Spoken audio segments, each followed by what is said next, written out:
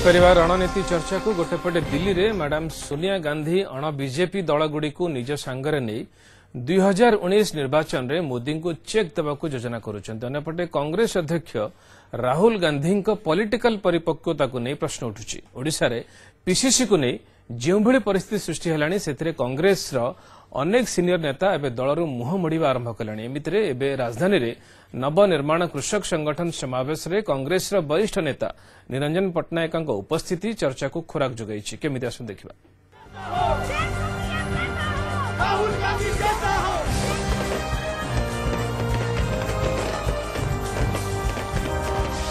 হঠাৎ গুজরাট নির্বাচন ফলাফল আসিবা পূর্বরু রাহুল গান্ধীଙ୍କୁ কଂଗ୍ରେସ ଅଧ୍ୟକ୍ଷ ପଦରେ ବସାଇ ଦିଆଗଲା ଅନେକ ଦିନର ଦାବି ଆଉ ଦଳର ବରିଷ୍ଠ ନେତାଙ୍କର ଆଗ୍ରହକୁ ଦେଖି ମ୍ୟାଡାମ୍ ସୋନିଆ ଗାନ୍ଧୀ ବି ଭାବିଲେ ଯେ ବୋଧହୁଏ ସମୟ ଆସିଛି ରାହୁଲଙ୍କ ହାତରେ କଂଗ୍ରେସର ବାଗଡୋର ଦେଇ ଟିକେ ଶାନ୍ତିରେ ରେଷ୍ଟ ନେବେ ତେବେ ରାହୁଲ କଂଗ୍ରେସ ଦାୟିତ୍ୱ ନେବା ପରେ ପରେ ଗୁଜରାଟ ନିର୍ବାଚନ ଫଳାଫଳ କଂଗ୍ରେସକୁ ବିଶେଷ କିଛି ଫାଇଦା ଦେଲା ନାହିଁ ତାପରେ ତ୍ରିପୁରା ନାଗାଲାଣ୍ଡ ମେଘାଳୟ ନିର୍ବାଚନରେ ବି କଂଗ୍ରେସ କିଛି ଖାସ୍ ପ୍ରଭାବ ପକାଇ ପାରିଲା ନାହିଁ।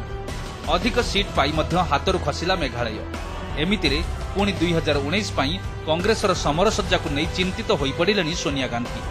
ମାତ୍ର ଚାରିଟି ରାଜ୍ୟରେ କଂଗ୍ରେସ ସୀମିତ ରହିଯାଇଥିବା ବେଳେ ଏବେ ଅନ୍ୟ ଦଳମାନଙ୍କ ସହ ମେଣ୍ଟ କରିବାକୁ ଚିନ୍ତା କରୁଛନ୍ତି କଂଗ୍ରେସର ହାଇକମାଣ୍ଡ। ଏମିତିରେ ରାହୁଲଙ୍କ ଉପରେ ପୁରା ଭରସା ନ କରି ଡିନର ପାର୍ଟି ଆଳରେ ସତର ଅଣ ବିଜେପି ଦଳକୁ ଏକାଠି କରି ରଣନୀତି ପ୍ରସ୍ତୁତ କରିବାରେ ଲାଗିପଡ଼ିଛନ୍ତି ବିଭିନ୍ନ ରାଜ୍ୟରେ କଂଗ୍ରେସର ସଂଗଠନ କିଭଳି ସୁଦୃଢ଼ ହେବ କିଭଳି ବିଭିନ୍ନ ରାଜ୍ୟରେ ପିସିସିର ମଙ୍ଗ ଉପଯୁକ୍ତ ନେତାଙ୍କ ହାତରେ ରଖାଯାଇପାରିବ ସେ ନେଇ ଏଆଇସିସି ଡିସିସନ୍ ନେବାର ବିଳମ୍ବ କଂଗ୍ରେସକୁ ଦୁର୍ବଳ କରିବାରେ ଲାଗିଛି। ଯାହାର ଉଦାହରଣ ସ୍ୱରୂପ ଓଡ଼ିଶା କଂଗ୍ରେସର ସ୍ଥିତିକୁ ବି ନିଆଯାଇପାରେ। ଏଠି ଗତ ଦି ବର୍ଷ ହେଲା ପିସିସିକୁ ନେଇ ଯେଉଁ କସରତ ଚାଲିଛି ସେଥିରେ ଦଳର ସିନିୟର ନେତାମାନେ ହତାଶ ହୋଇପଡ଼ିଲେଣି। ଏଭଳି ପରିସ୍ଥିତିରେ ଏବେ ଯେତେବେଳେ ଭୁବନେଶ୍ୱରରେ ପ୍ରାଇସ୍ ପ୍ରେଷ୍ଟିଜ୍ ପେନ୍ସନ୍ ପାଇଁ ଲଢ଼େଇ ନବନିର୍ମାଣ କୃଷକ ସଂଗଠନ ମଞ୍ଚରେ କଂଗ୍ରେସର ବରିଷ୍ଠ ନେତା ନିରଞ୍ଜନ ପଟ୍ଟନାୟକଙ୍କୁ ଦେଖିବାକୁ ମିଳିଛି ସେତେବେଳେ ଏହା ଗୋଟେ ନୂଆ ଚର୍ଚ୍ଚାକୁ ଖୋରାକ ଯୋଗାଇଛି। ପୂର୍ବରୁ ଏହି ଚାଷୀ ସଂଗଠନ ଉପଦେଷ୍ଟା ହିସାବରେ ଲିଡ୍ ରୋଲ୍ରେ ଥିଲେ ସୌମ୍ୟରଞ୍ଜନ ପଟ୍ଟନାୟକ। ସେ ଯେତେବେଳେ ବିଜେଡିରେ ମିଶି ରାଜ୍ୟସଭାକୁ ଯିବାକୁ ବାହାରିଲେଣି ସେତେବେଳେ ସୌମ୍ୟରଞ୍ଜନଙ୍କ ସ୍ଥାନରେ ତାଙ୍କ ବଡ଼ ଭାଇ ନିରଞ୍ଜନ ବାବୁଙ୍କୁ ସମାନ ମଞ୍ଚରେ ଦେଖିବାକୁ ମିଳିଛି। ନବନିର୍ମାଣ କୃଷକ ସଂଗଠନର ଏହି ଆନ୍ଦୋଳନକୁ ସମର୍ଥନ ଜଣାଇଛନ୍ତି ନିରଞ୍ଜନ ବାବୁ। ବେଶ କିଛି ଦିନ ହେଲା ସୌମ୍ୟରଞ୍ଜନ ନବନିର୍ମାଣ କୃଷକ ସଂଗଠନର ମଙ୍ଗୁଆଳ ସାଜିଥିଲେ। ଏବେ ତାଙ୍କ ସ୍ଥାନ ସମ୍ଭାଳିବେ ନିରଞ୍ଜନ ପଟ୍ଟନାୟକ। ମୁଁ ତ ଅଛି ତାଙ୍କ ପଛରେ। ଆଗକୁ ନେବି କଣ? ମୁଁ କଣ ତାଙ୍କୁ ଟାଣୁଛି? ମୁଁ ତାଙ୍କ ସାଙ୍ଗରେ ମୂଳରୁ ଅଛି।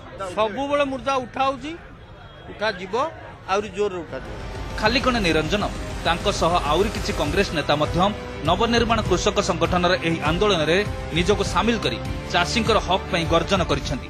ତାଙ୍କର ଯାହା ନ୍ୟାଯ୍ୟ ଦାବି ଅଛି ସରକାର ତାକୁ ତୁରନ୍ତ ପୂରଣ କରନ୍ତୁ ଏବଂ ଚାଷୀଙ୍କୁ ଏଠି ଉଠାନ୍ତୁ। ନହେଲେ ଆଗାମୀ ଦିନରେ କୃଷକ ଆନ୍ଦୋଳନ ଏ ସରକାରଙ୍କର ସତର ଘଣ୍ଟି ହେବ ଏବଂ ଗାଦିଚ୍ୟୁତ କରିବା ପାଇଁ ଏହି ଆନ୍ଦୋଳନ ହିଁ ତାଙ୍କ ପାଇଁ ଯଥେଷ୍ଟ ହେବ। ଯେଉଁଠି ସୋନିଆ ଗାନ୍ଧୀ ଦୁଇ ହଜାର ଉଣେଇଶରେ କଂଗ୍ରେସକୁ କୂଳରେ ଲଗାଇବାକୁ ମୋଦି ବିରୋଧୀ ସତର ଦଳ ସହ ଆଲୋଚନା ପର୍ଯ୍ୟାଲୋଚନାରେ ବ୍ୟସ୍ତ ରହିଛନ୍ତି ସେଇଠି ତାଙ୍କରି ଦଳର ନେତା ଏଠି ଓଡ଼ିଶାରେ ନିଜର ସ୍ଥିତିକୁ ନେଇ ଥଳକୂଳ ପାଉନାହାନ୍ତି। ଯାହାର ଉଦାହରଣ ହେଉଛି ନବନିର୍ମାଣ କୃଷକ ସଂଗଠନ ମଞ୍ଚରେ କଂଗ୍ରେସ ନେତାଙ୍କର ଉପସ୍ଥିତି।